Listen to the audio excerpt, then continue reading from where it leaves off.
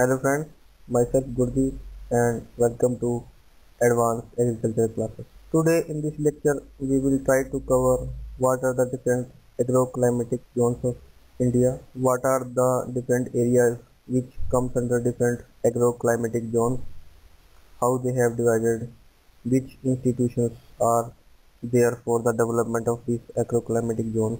So let us start today's lecture. So first of all before knowing the what are different agroclimatic zones are there in, in India which are in which the India is divided climate of the India.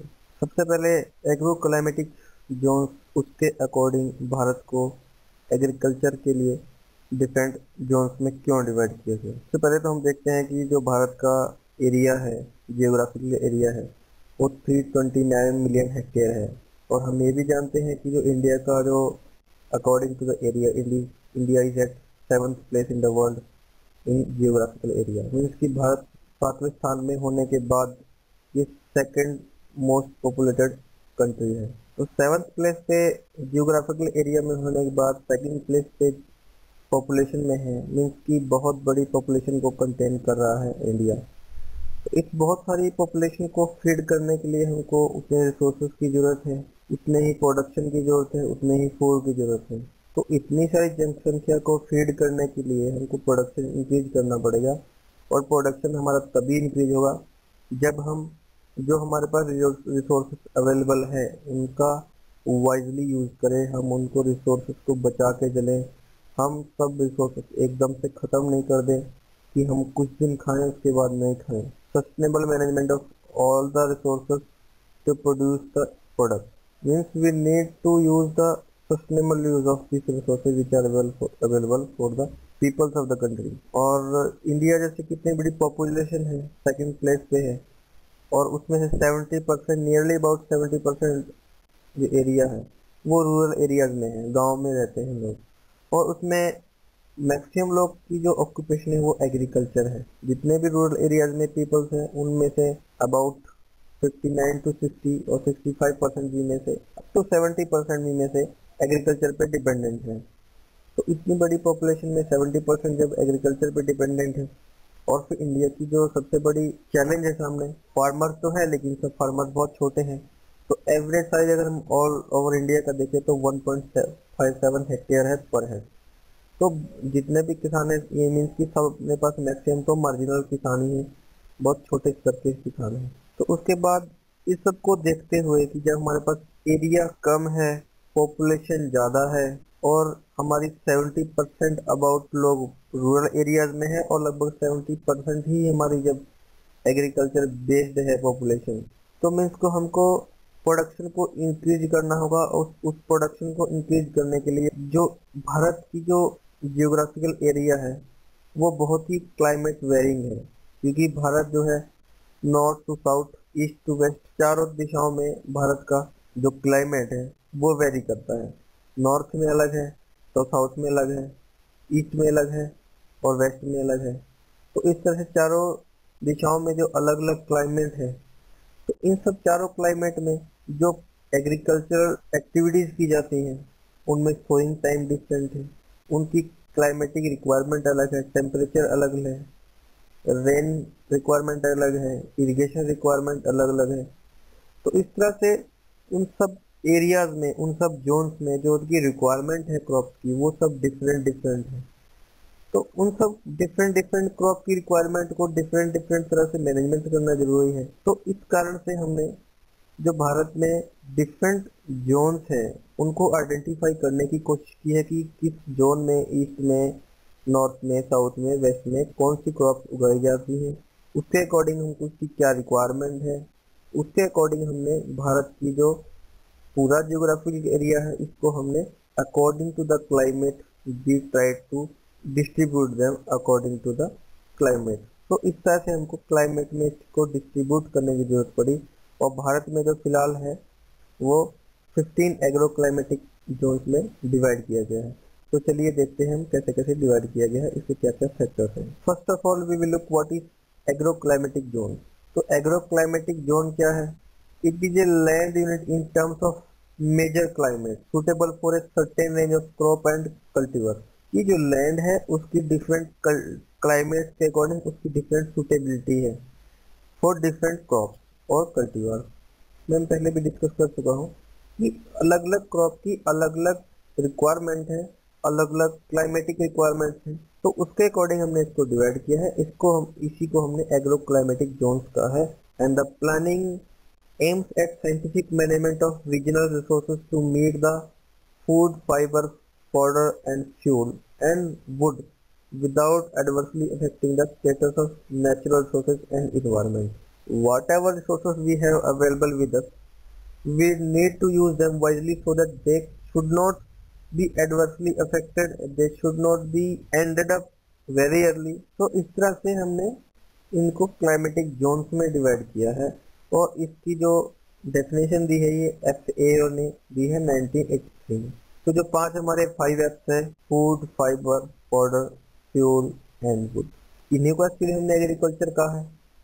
तो जो इन पाँच को management करने के लिए जो resources की ज़रूरत है, उनको वाइजली यूज़ करना बहुत ज़रूरी है। तो इसके लिए हमने एग्रो क्लाइमेटिक जोन्स में इसको डिवाइड किया है। तो एग्रो क्लाइमेटिक जोन्स किसने डिवाइड किया है? ये कैसे इसको डिवाइड करने की कोशिश की गई है। तो the planning commission of India has divided the country into 15 broad agro-based climatic zones.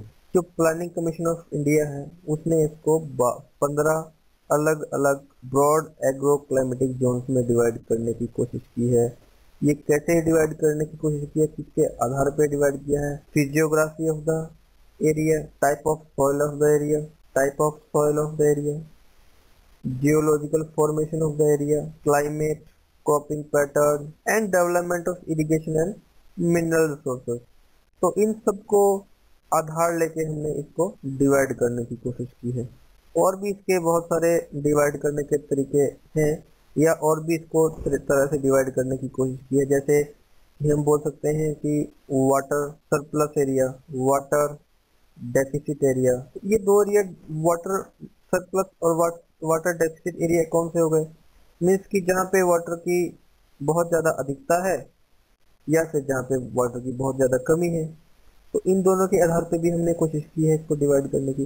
तो इसके डिफरेंट डिफरेंट बहुत सारे ऑर्गेनाइजेशन ने भी इसको डिफरेंट डिफरेंट तरह से डिवाइड करने की कोशिश की है। लेकिन आ, हम जो मेन जो हम देखेंगे वो जो प्लानिंग कमीशन है उसके द्वारा जो उनकी पंद्रह कौन सी क्लाइमेटिक जोन में डिवाइड किया गया we will look that one only so this is map of India which is showing the geographical area of India divided into 15 zones which are uh, indicated by first to 15 and uh, I will call all them one by one पहला कौन सा है western Himalaya Himalaya it is starting from west to east तो पहली zone जो है western Himalaya है second कौन सी है ईस्टर्न हिमालय है थर्ड हमारी है लोअर गंगेज लोअर गंगेज कौन सी है? लोअर मीन्स की where it is meeting where it is falling in sea bay of Bengal means की lower side lower Ganges third है. फिर उसके बाद फोर्थ है मिडिल गंगेज फिफ्थ है हमारी अपर गंगेज एंड सिक्स है हमारी, और ट्रांस गंगेज सेवंथ है ईस्टर्न प्लेटो एट्थ है हमारा सेंट्रल प्लेटो नाइन्थ है अपना वेस्टर्न प्लेटो टेंथ है अपना साउदर्न प्लेटो इलेवेंथ है eastern ghat. All this area coming this eastern ghat 12th है वेस्टर्न ghat this area. 13 है Gujarat plains and hills area 14 है वेस्टर्न ड्राइजन और 15 है island area this area and this तो इस तरह से 15 जो जोन्स में डिवाइड किया गया एग्रो क्लाइमेटिक जोन्स में चलिए देखते हैं एक एक करके सबके बारे में किसको कैसे डिवाइड किया गया क्या क्या सोर्सेस अवेलेबल है कौन कौन से इंस्टीट्यूशन है इनमें। तो सबसे पहले जो हमारा है western Himalaya western Himalaya region में कौन कौन से एरियाज़ आते हैं हमारे? Jammu and Kashmir, Himachal Pradesh some parts of UP some parts of Uttarakhand. तो ये जो चार मेजर स्टेट्स हैं, इनके कुछ कुछ मेजर पार्ट्स आते हैं तो इसको हमने वेस्टर्न हिमालय के अंदर में रखा। तो इसमें जो हमारा एवरेज टेम्परेचर है, वो समर टाइम में 22.6 है, और एवरेज मिनिमम टेम्परेचर जो कि विंटर में 2.6 डिग्री रिकॉर्ड किया गया है। जो उनकी जो एवरेज सीजनल रेनफॉल है वो 1650 mm to 2000 mm per year है। देन जो क्लाइमेट है वो कूल एंड ह्यूमिड है। Then what are the different irrigation methods are adopted तो यहाँ पे जो इरिगेशन मेथड्स हैं वो ब्रॉड स्ट्रिप और वाइल्ड फ्लडिंग तो बॉर्डर स्ट्रिपिंग और वाइल्ड फ्लडिंग क्या है कि हम या तो उसको स्ट्रिप्स में डिवाइड कर देते हैं फ़ील्ड को तब उसमें आ, हम इरिगेशन करते हैं। या सेकेंड मेथड क्या है कि हम ऐसे ही पूरा फ़ील्ड होता है तो उसको हम फ्लड कर देते हैं। एक तरफ़ से पानी भरना शुरू करते हैं तो पूरे हेड से टेल तक वाटर नहीं जाता। हम फुल इसको इरिगेशन देते रहते हैं। नेक्स्ट है सॉइल टाइप तो इस जो वेस्टर्न हिमालय में उसमें जो सॉयल टाइप है, वो ब्राउन हिल एलवियल सॉइल है माउंटेन सॉइल है मिडो है एंड स्केल्टल है। इस तरह की सॉइल्स मिलती हैं। तो इस रीजन में कंस्टेंट क्या है? इसमें दिक्कत क्या है? प्रॉब्लम क्या है? तो इस जो, क्योंकि ये जो मैक्सिमम हिली एरियाज़ है, जैसे कि उत्तराखंड है और जो हिमाचल प्रदेश है जम्मू एंड कश्मीर है, उसमें सॉइल इरोजन की प्रॉब्लम है, इसका कंस्टेंस है। तो लैंडस्लाइड्स होते रहते हैं लैंडस्लिप्स होती रहती है तो ये दो तीन कंस्टेंस है। तो इसमें मेजर क्रॉप कौन सी है? वीट है मेज है paddy and potato these are the major crop which are carried out और which are sown in the western Himalaya region then cropping system what is the cropping system adopted here तो यहाँ पे subsistence और commercial mostly having rice wheat maize wheat and vegetable wheat this are the combination of the crop यहाँ पे maximum commercial type cropping करते हैं means की commercial purpose के लिए। नेक्स्ट है कॉमन पेस्ट कौन कौन से यहाँ पे? स्टैम बॉर्डर्स है एफिड्स है। ये दो यहाँ के मोस्टली एरियाज़ में पाए जाने वाले पेस्ट हैं जो कि फ़सल क्रॉप को अफेक्ट करते हैं। तो नेक्स्ट है, हम देखते हैं कि जो गवर्नमेंट है, उसमें इसमें जो एफ़ है, इसने क्या क्या गाइडलाइंस दी है। इस रीजन को डेवलप करने के लिए। तो to develop the region on the intensification of the soil and water conservation planning means कि यहाँ पे एफ़ ने बहुत ज़्यादा इस पे ज़ोर दिया है कि यहाँ पे सॉइल कंजर्वेशन ज़्यादा होना चाहिए और वाटर कंजर्वेशन ज़्यादा ज़्यादा होना चाहिए। क्योंकि जो हमारा यहाँ पे स्लॉपी एरिया है हिली एरियाज़ है तो इसलिए सॉइल इरोजन ज़्यादा होता है लॉस ऑफ़ सॉइल ज़्यादा है वाटर लॉस ज़्यादा है तो इसलिए यहाँ पे सॉइल और वाटर को कंजर्व करने की प्लानिंग ज़्यादा है। तो यहाँ पे लैंड यूटिलिटी प्लानिंग क्या है? जो थर्टी परसेंट जहाँ पे स्लोप है, वहाँ पे हम एग्रीकल्चर आराम से कर सकते हैं।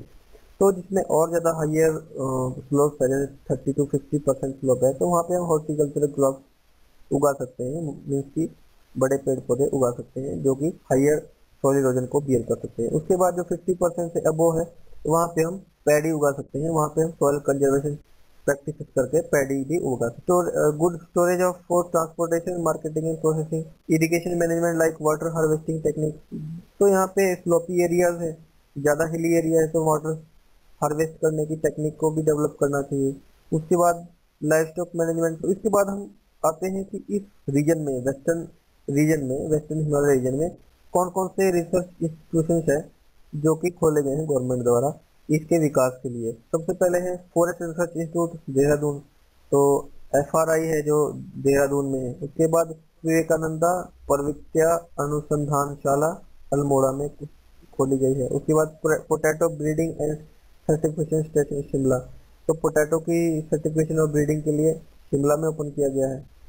और यहाँ पे जो इंडिया की सबसे पहली एग्रीकल्चरल यूनिवर्सिटी थी, वो जी बी पी एटी है, जो कि पंतनगर में है, जो अभी की उत्तराखंड में आती है, पहले यूपी में थी। तो गोविंद बल्लभ पंत के नाम पे रखी गई है, जो कि उस टाइम पे उत्तर प्रदेश के मुख्यमंत्री थे, उनके नाम पे। नेक्स्ट हम देखते हैं ईस्टर्न हिमालय रीजन तो ईस्टर्न हिमालय रीजन में कौन कौन से आते हैं? Area Assam Sikkim West Bengal some parts of Bihar and all north east state तो इतने एरिया जो आते हैं हमारे ईस्टर्न हिमालय रीजन में आते हैं। तो सिमिलरली यहाँ का जो एवरेज टेम्परेचर है वो twenty two degree twenty two point two degree है। विंटर में एट पॉइंट एट डिग्री है मिनिमम और जो एवरेज सीजनल रेनफॉल है वो one eight four zero two three five two eight M M per year है और सीजनल रेनफॉल है। नेक्स्ट यहाँ पे क्लाइमेट है। Humid and sub humid climate है। एवरेज मेथड्स कौन से हैं? इरिगेशन मेथड्स कौन से हैं? तो यहाँ पे मैक्सिमम कैनाल से इरिगेशन की जाती है। यहाँ पे भी या तो बॉर्डर स्ट्रिपिंग या फिर वाइल्ड फिल्टरिंग का यूज़ किया जाता है। तो सॉइल टाइप कौन सी यहाँ पे? एलवियल सॉइल है रेड लोमी सॉइल है रेड सैंडी सॉइल है ब्राउन हिल सॉइल है। सॉइल ओजन ज़्यादा होता है यहाँ पे फ्लैश फ्लड्स आते हैं ज़्यादा और स्टीप स्लोप है ज़्यादा डेनुडेशन एंड डिग्रेडेशन यहाँ पे ये भी प्रॉब्लम है। तो इम्पोर्टेंट क्रॉप कौन कौन सी है? मेज पैडी जूट एंड रेपसीड यहाँ की इम्पोर्टेंट क्रॉप्स है। क्रॉपिंग सिस्टम कौन सा अडॉप्ट किया जाता है? सब्सिस्टेंस एंड कमर्शियल तो यहाँ पे क्रॉप कॉम्बिनेशन कौन से हैं? Rice vegetable rice wheat rice rice और जूट वीट तो ये यहाँ पे क्रॉप कॉम्बिनेशन यूज़ जाता है। तो कंस्टेंट मैं पहले भी डिस्कस कर चुका हूँ कि ब्राउन ये सॉइल रोजन है फ्लैश है स्टीप स्लॉप्स है। इसके बाद कुछ और भी जो मेन कंस्टेंट और क्या है?